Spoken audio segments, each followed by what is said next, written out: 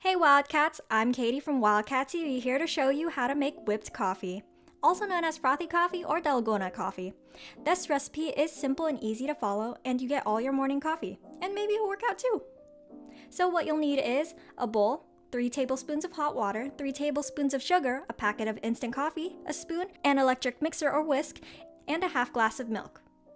When pouring in your ingredients, make sure that each is of the same ratio. Essentially, you're pouring items at a 1 to 1 to 1 ratio. And then you mix. I would try to mix at a low setting at first and make your way up with the goal to have a thick and foam-like consistency, and at the same time, check for peaks to form while mixing. Another tip is to try tilting your bowl at an angle to avoid any splatters that may happen.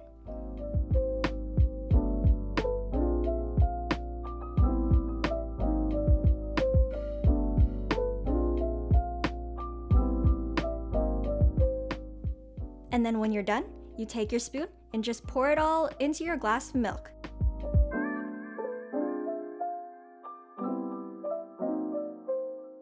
And see the separation? You'll mix it all together for a few seconds and then you're done. I hope you enjoyed this simple and easy recipe to make your morning coffee. Although it may take a bit of your time, it's all worth it and makes you feel a little bit more accomplished in the end. I hope everybody gets the chance to make this type of coffee at home. I'm Katie reporting for Wildcat TV. Now back to the news desk.